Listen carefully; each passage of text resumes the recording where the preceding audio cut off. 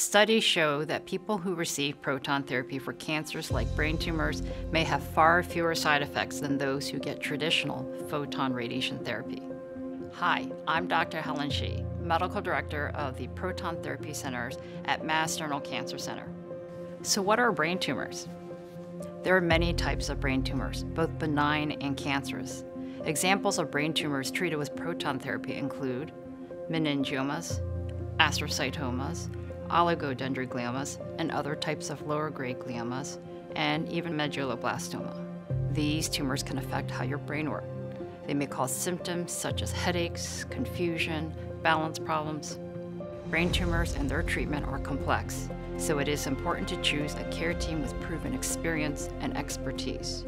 Your team may include neuro-oncologists, cancer doctors who specialize in brain tumors, neurosurgeons, radiation oncologists, neuroradiologists, cancer nurses, and more. How do we treat brain tumors? We have a number of options for brain tumor treatment. Your specific treatment depends on the tumor type, its size, the location in the brain, your symptoms and otherwise health, the risk and benefits of each treatment, and many other factors. Your treatment options may include surgery, radiation therapy, possibly proton therapy, medical therapies, including chemotherapy, immunotherapy, and targeted therapy, clinical trials that may include a combination of these approaches in novel ways or with new developing therapies. Surgery can remove brain tumors, but sometimes it can be difficult to remove the tumors that diffusely involve the brain, are deep inside the brain, or in challenging locations without harming surrounding brain or other tissues. Although medical therapies play an important role in the management of brain tumors, currently they are not curative therapies alone. Fortunately, radiation can be a good alternative for these tumors. One type of radiation therapy that effectively treats brain tumors is proton therapy. Mass General Cancer Center has New England's only proton therapy center and one of the longest and richest legacies in treating patients with proton therapy.